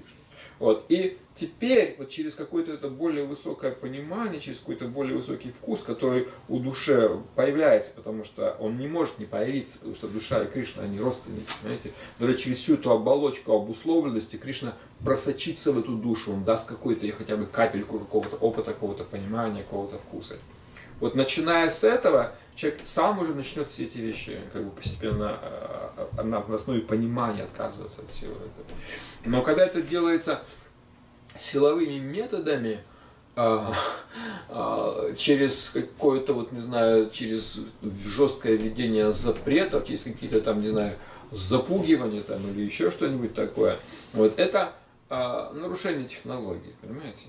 И человек оказывается между двумя мирами. Он от одного оторвался, другой еще не пришел, он как, вот, как в каком-то отстойнике вообще стоит, ни туда ни сюда, понимаете? Вот, до Кришна Према ему еще далеко, а это все уже попало в сферу запретов, потому что там, будешь дальше в ад пойдешь, и он сидит такой и думает вообще, что делать. Вот, понимаете? Вот. И вот это ненормальное состояние. Такого не должно быть состояния. Вот, поэтому э, человеку дается какой-то определенный... Тот, кто может в молодости принять там какое-то сразу отречение, все. Ну, э, таких они бывают, люди, но это исключение. Большинству людей дается 20, 25, а то и 30 лет, вот этот период постепенного перехода называется, там, когда человек может удовлетворить свои чувства, что называется, да, там, семейный уклад, все это, вот, в той мере, в какой, скажем, там, обусловлено у кого какие там возможности, желания. Вот, то есть э, крайне редкие случаи вот такого раз-два и все, там сказать, из грязи в князи, понимаете, что пешка вдруг ферзем вообще стало мгновенно, да, вот, поэтому э, ни на одном из этапов духовной жизни преданный не должен быть несчастлив. Но для этого должен быть естественный рост, естественный, а не форсированный. Потому что когда вот этот вот форсаж, вот этот вот резкие рывки, они обгоняют реальную внутреннюю зрелость человека, тогда и возникает это вот ощущение разрыва, что я еще, еще не там, но уже не здесь, понимаете? Вот как это у Гребенщикова, что это и, и как как-то у него песенка была, что что ты в пустоте, как на старом забытом холсте, ни в начале, ни в центре, и даже не сам в хвосте, нигде. Это вот ужасное состояние, нигде. Вот. А человеку где-то нужно быть, понимаете? Вот, поэтому э, должна быть правильная технология. Вот вы говорите, что разрыв, он рано или поздно произойдет. Вот. Окончательный, да. Но мы же сейчас не можем как бы форсировать этот разрыв. У нас у всех есть свои обязанности, семьи, работы. Поэтому мы сейчас говорим не о разрыве, а мы говорим о связи, что эти вещи нужно связать с Кришной. Вот и все. Потому что эту работу нам дал Кришна. Ведь он дал нам гунакарму, у нас есть определенная природа, определенные какие-то там способности, да, таланты, и на основе этих способностей, на основе какой-то природы мы работаем. То есть Кришна через нас а решая какие-то какое-то социальное служение делает. Потому что а, у Кришны же есть разные формы. Не только вот форма Кришны на алтаре, вот он, да, Радха Кришна стоят, вот, вот, вот наша форма, да, прекрасно, это форма, да, с которой возможно развивать расу. Но у Кришны есть другие формы. Например, вселенская форма, Вишварупа – это форма. где говорится, что Брахма Лока это его голова, да, Патала Лока это там ее стопы, а вот земля там Гурлока это уровень там, талии, пояс, да. Вот, то есть э, это тоже форма. Благодаря этой форме космос держится. Не было бы этой Вишварупы, все бы эти планеты не все попадали, вы понимаете? Потому что в строгом смысле слова они держатся на Кришне. Точно так же мы узнаем о том, что варнашам или социальная, социальная, социальный организм, это тоже форма Кришны. Он говорит, «Э, брахман это моя голова, кшатри это мои руки, там, вайши это мой живот, шудры это мои ноги. Хотя понятно, что сейчас, ну, скажем так, это нет главного сердца варнашем, да, то есть как бы вот идеи служения Кришне. Но э, варны это хотя бы в искаженном виде, то они все равно существуют, правильно? Вот. И э, если мы э, занимаемся какой-то работой, да, это наше социальное служение, пускай оно там и за деньги, да, вот, но тем не менее мы выполняем свой долг. Кто нас разместил вот в этом месте социального организма, что кто-то там находится в форме головы или стоп, это кто сделал? Кришна, он говорит, Чатурмарня, он говорит, Чатурмарням моя сриштам, моя сриштам мною созданы. Сришти это творение, он говорит, моя сриштам, мною созданы Чатурварням, четыре варны, понимаете? Это им создано. То есть он создал эти варны, да, и э, к каждой варне он привязал что? Дхарму. У каждой варны есть своя дхарма, выполняет свой долг. Да? Вот. А дхарма она откуда исходит? Из Кришны. Дхармам ту сакшат бхагават там дхарма исходит из Верховного Господа. Вот. Поэтому, исполняя дхарму, исходящую от Верховного Господа, привязанную к этой варне, вы служите Богу. Это может быть там не, не, не Киртан, не Кришна Киртан, да, но если вы понимаете вот это вот через осознание, через связь с Богом, что даже ваша вот эта вот какая-то социальная деятельность, работа, через Кришна поставил вас на это место, как Арджуну. Через Арджуну он там сражался, да, через вас он там может что-то другое делает, там кто там, кто где там, кто, не знаю, там продавец, кто повар, там, кто, не знаю, там водитель, кто дворник, неважно кто. То есть Кришна через каждого что-то делает, понимаете? Вот, поэтому если вот есть такое понимание, вот вам, пожалуйста, так сказать, э, вы, занимаясь прямой практикой, сколько у вас там хватает времени, да, там, на воспевание, на какое-то чтение там, и так далее, вот, э, занимайтесь также другой деятельностью. И она тоже протекает под руководством Кришны, потому что он дал вам эту гуна-карму, эту варну. Вот и все. То есть счастье должно исходить из того, что мы живем, следуя своей дхарме? Это естественное, закономерно, оно приходит, удовлетворение из сердца, потому что вот это вот э, само, само по себе удовлетворение, оно только от Кришны может произойти. Если мы не удовлетворены, mm-hmm. это означает одну простую вещь. Кришна нами не очень доволен. Кришна доволен, мы довольны. Поэтому нам надо научиться просто действовать так, как Он хочет. Неважно, действуем мы как чистые преданные, действуем мы как обусловленные преданные там работы, но мы действуем в рамках своей квалификации. Адхикара, вот все. Если человек оставил свои какие-то вот социальные обязанности а, преждевременно, не будучи готовым, то будет много беспокойств. А Рупа Госами говорит в «Нектаре преданности», вот это вот, Шрути Смрити Пуранади Панчаратра Витхим Винам Айканти и Харьяр Бхактирут Патаяева Калпате. То есть, если преданное служение совершается не на основе Шрути, изначально веды, смрити, это вот Пураны, да, э, там, э, Панчарата, то оно становится источником нужных беспокойств в обществе. Понимаете?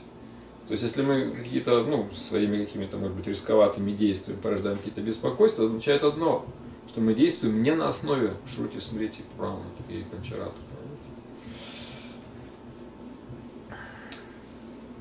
У меня вопрос.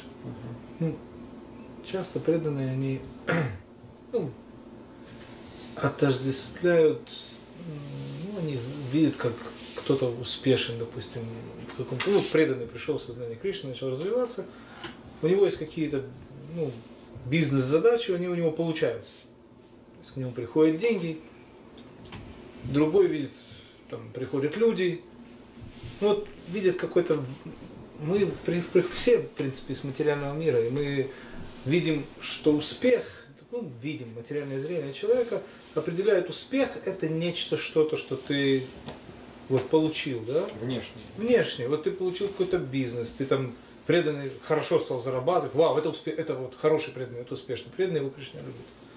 Вот. Другой там привлек свою компанию, ну, команду, там массу людей, там у него такая команда мощная стоит. Часто мы смотрим на это и видим, вау, вот это успех. Что ж такое успех на самом деле в сознании Кришны? Вот это вот или... Где А. этот успех на самом деле, который человек действительно должен за ним Успех идти? это когда это успех это когда его признал Кришна и Кришна проявляется в его сознании через этого человека начинает Кришна проявляться. Вот это успех. А что касается успеха, который вы перечислили, а, это тоже без сомнения успех, но этот успех он, а, скажем так, обладает временной природой, то есть приходит, уходит. Это артха, а, которая всегда является следствием правильной дхармы, дхарма артха. Вот, а, то есть это успех а, в материальном плане. А, Бывает так, что этот успех а, немножко может даже скружить кому-то голову. Вот, человек может э, возгордиться тем, что у него теперь стало больше денег, больше возможностей или что-то там еще. Вот, и если он э, не стал еще достаточно серьезным преданным, а это может даже стать иногда причиной его какого-то падения, потому что мы знаем, что гордость приходит перед падением. Вот, то есть человек э, возомнил, что это он великий, не как милость Кришны это принял, а как какие-то свои там личные достижения. Вот. И Кришна не любит гордость, все эти вещи. А, Поэтому он, как говорится, как взял, так может, как дал, вернее, так, так может и забрать. Вот, поэтому люди, которые обладают таким поверхностным видением, они, они вот так успех воспринимают. А духовный успех может быть, а, труднее оценить, потому что он не измеряется какими-то там видимыми вещественными показателями.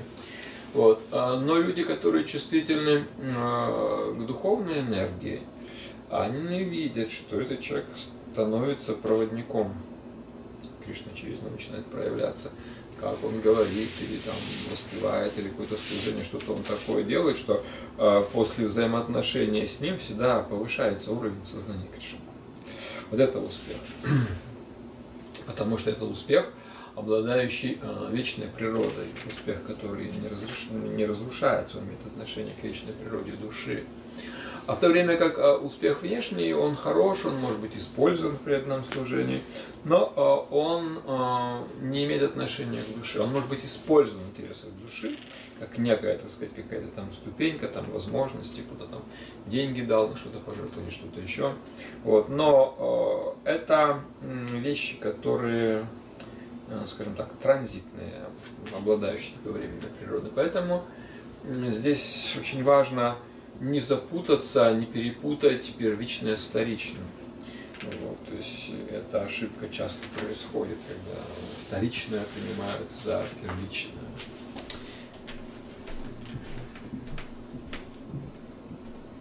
Более того, есть э, хороший стих молитвах царицы Кунти, да, где она говорит а, Бога и Шваре просакта нам Майя пахнет. А, нет, это собрание как там. Бога и Шваре шута шрибхир Эдхамана Мадах Пуман Найвах Архитхатуман Твам Такинчина Гочер говорит, что а, Кришна те, кто идут ну, путем материального прогресса, да, и вот их, их стремление, их цель это вот э, высокое социальное положение, богатство, красота, э, образованность. Говорит, что они околдованы все этим мадах, пумам, поэтому они не могут обратиться к тебе с искренним сердцем, потому что ты э, богатство нищих.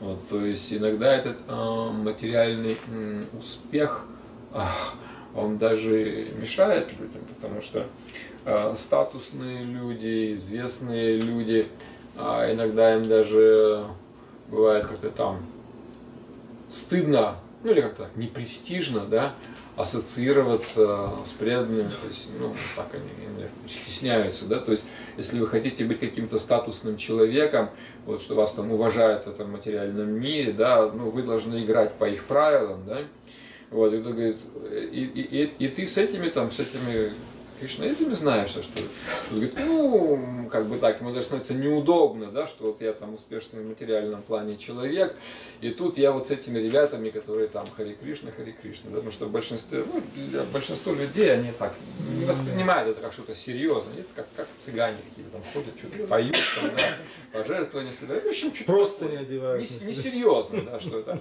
Вот. И э, человек, который э, преданный, но вот который, скажем, занимает какое-то такое, может быть, значимое, видное место в социуме, ему иногда может быть как-то немножко неловко, да, потому что какой-то такой э, разрыв, это как-то может напрягать его. Вот поэтому-то а, вот как раз царица Кунти говорит, что ты а, богатство нищих, то есть тех, кто разочаровался на пути вот этого материального прогресса, который состоит в достижении этих вот четырех вещей. Высокое социальное положение, да, там, а, богатство, красота, образованность, эрудиция, там, все эти моменты. Это не обозначает, что человек преданный не может быть и богатым, и красивым, и умным, там, и, значит, э, и известным. Нет совсем. Но просто э, в социуме э, уж так повелось, что вот, э, всегда немножко сложно совмещать вот эти вот моменты. Не, не, не все проходят вот это вот испытание а, и способны, э, скажем так, сочетать и высокий какой-то материальный статус известности, какой-то публичной личности, и при этом не бояться или не стесняться, допустим, своей какой-то принадлежности к преданным. Это, это, это не, не такое простое дело, на самом деле. Вот, поэтому иногда вот эти вот материальные вещи, так называемый материальный успех, он может быть даже препятствием. Не всегда, но иногда.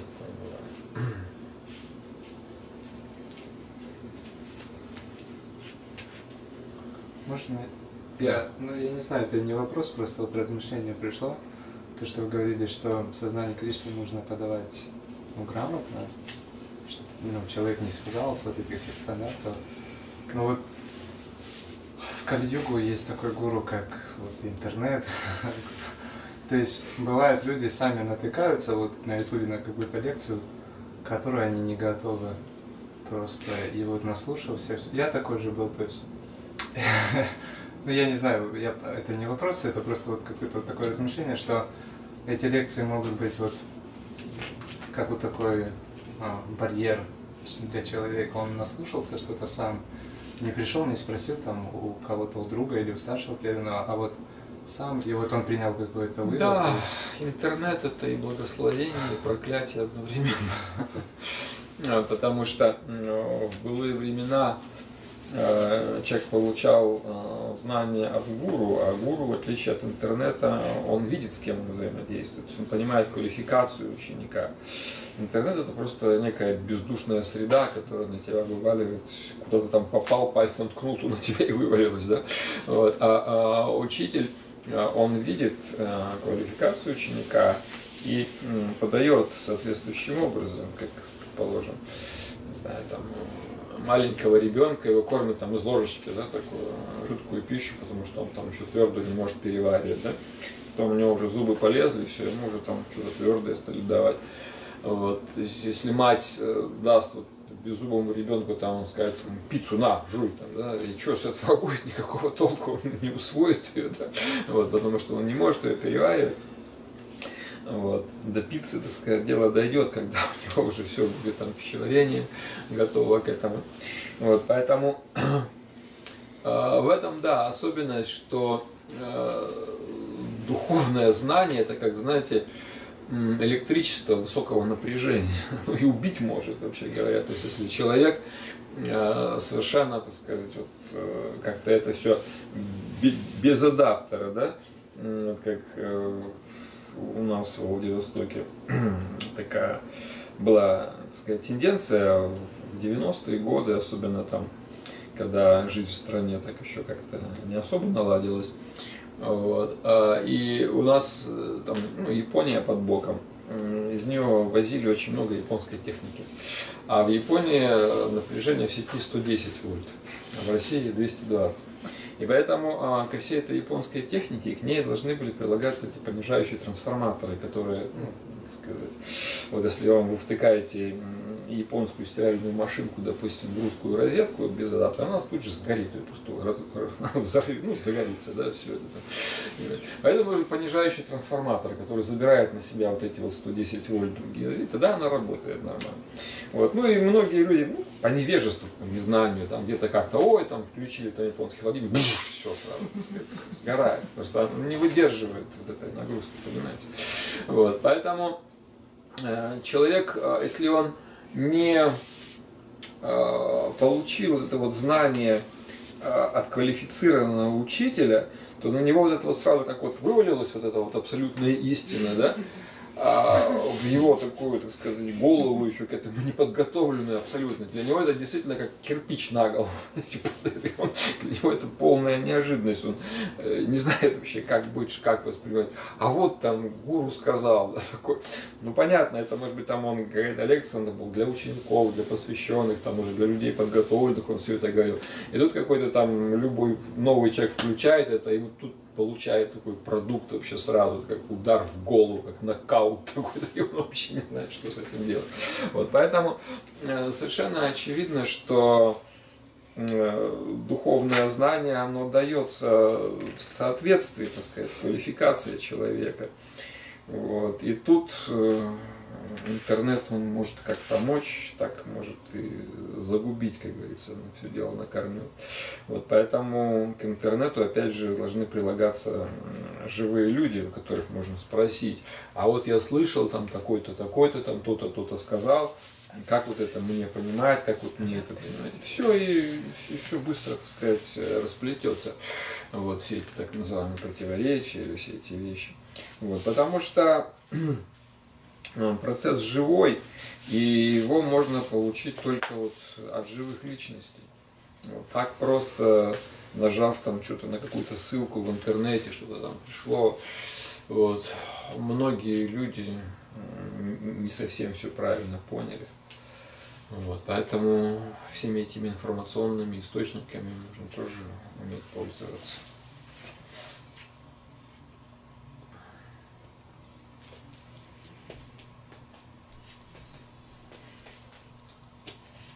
Что-то еще? Еще вопрос? Я могу задать, если есть возможность Конечно. еще. Наверное, последний, да? Ну что же 9 Хорошо. Да. Как вы себя чувствуете? Я нормально. А, ну, вот вы в лекции говорили, что а, памятование о Кришне приходит от Кришны, и, но оно придет тем, кто ну, занимается преданным служением и ну, кто стал на, пути, на путь слуги. И можно ли это понимать таким образом, что ну вот если это памятование ну как бы не пришло или частично, то человек он занимается как бы автоматически или как бы ну, он чем-то руководствуется, то есть может быть разумом, то есть ну, возможно ли это как-то без такого полного вкуса или вот ну как-то вот так, потому что ну, что здесь происходит? А, происходит переход да, а, от материальной энергии в сторону духовной энергии. Вот. И когда, как я сказал, всегда переход какой-то немножко такой непривычный для человека, требуется время на адаптацию. А, элемент механичности может присутствовать, потому что тело наш само по себе механизм. Поэтому для тела действует механично, это нормально. Вот. А ум а, тоже механизм. Ум же не живой. Это, это механизм, это так и называют, янтра. Единственное, что у нас есть живого, это вот мы сами, душа, атма, она живая. Но а, поскольку она еще не в полной мере а, пробуждена, не оживлена еще вот этой вот расой духовной, вот, то а, мы допустим, освоили преданное служение, ну, как вот некую концепцию приняли, что так правильно, да, а, освоили ее на уровне ритуала, то есть ну, как вот правильно делать, мы знаем, да, как вот хозяйка на кухне, она уже знает, где у нее что, она там не думает, да, где у нее соль, сахар, все там, специи, все, она автоматом, можно сказать, да, вот, или там маридангист, он играет, он не думает там, что там какие ну, у него все уже достаточно машинально, да, все это происходит, или что-то там, какие-то еще пуджари, он там, э, когда он первый раз пуджи проводит, все, он там смотрит по списку, что, куда, когда он это уже делал э, 108 раз, то есть у него это уже автоматически, можно сказать, да? То есть тело, ум, они обладают механистичной природой. Вот. Но э, единственное, что этот механизм освещает, это э, душа, которая не является механистичной. Э, в свое время, тоже помню, это 90-е годы, была немножко такая головоломная, но тем не менее очень полезная книжка э, Садапуты Прабу, называлась «Механистическая и немеханистическая наука». Вот. Ну, он сам математиком таким был преданный. Вот. И там полкниги у него там каких-то формул ужасных. Вот. Но э, последняя, так сказать, вот глава книги, она описывала значит, э, процесс э, бхакти. И вот он объяснял, что в этом материальном мире все механистично, то есть все здесь построено по определенным алгоритмам, вся эта материальная природа, она вся механистична. Вот наше тело вписано в эту механику, и наш ум вписан в эту механику. Но вот э, когда мы обращаемся к Богу, он говорит, Бог это не механизм, это высшее живое существо, сознающее. Душа тоже не механизм, это тоже высшее сознающее существо. Вот, и когда они вот соприкасаются в естественном контакте, вот эта вот их любовь, она такая естественная, спонтанная, не механистичная. Но пока джива находится во власти, в какой-то степени во власти физического тела и ума, которые механистичны сами по себе, то вот эта вот э, механистичная тенденция, идущая от нашего ума и от нашего тела, она, естественно, проникает и в сферу преданного служения. Вот, поэтому человек сидит и там механистично повторяет мантру, там что-то там механистично такое делает, и потом он говорит, о, никакого нет вкуса, да, все это механистично. Да, потому что мы сейчас действуем в двух механизмах. Механизм тела раз, механизм ума два. То есть механизм ума в чем заключается? В том, что санкалпа викалпа принимает приятное, отвергает неприятное да, для чувств. То есть все это достаточно механистично. Если вы идете по какой-то там неприятный запах, вы естественно морщитесь, да хотите быстрее пройти. Если там какой-то, наоборот, благоухающий аромат, вам хочется остановиться, там, ну, тогда действует ум, механизм принимает и отвергает. Вот. И поскольку душа внутри этих двух механизмов, тонкого и физического, то это неизбежно, что какой-то элемент механистичности будет. Вот. Но а, тут, тут, как говорится, это просто условия игры, вот все, мы внутри механизмов находимся. Вот. Но э, с течением времени, э, по мере того, как душа, скажем так, больше, все больше и больше оживает, это вот очень хорошо описано э, в серии стихов первая песня, вторая глава «Божественность, божественное служение», там где-то начиная со стиха 15 по 25, примерно так, где-то вот 10 стихов, а, где а, описывается именно вот этот вот выход из-под влияния всего этого механизма, гун, там, все, всех этих вот вещей, то есть когда душа, уже, скажем так, всплывает, она уже становится, она уже из, из заложника этой вот механической системы, да, тела и ума, она поднимается над этим всем. Знаете, тут вот есть, сейчас я попытаюсь найти, может быть, там даже прочитать, чтобы это было как-то более, может быть, у нас а, по, по шастрам так. А, да, вторая глава. Вот. Угу.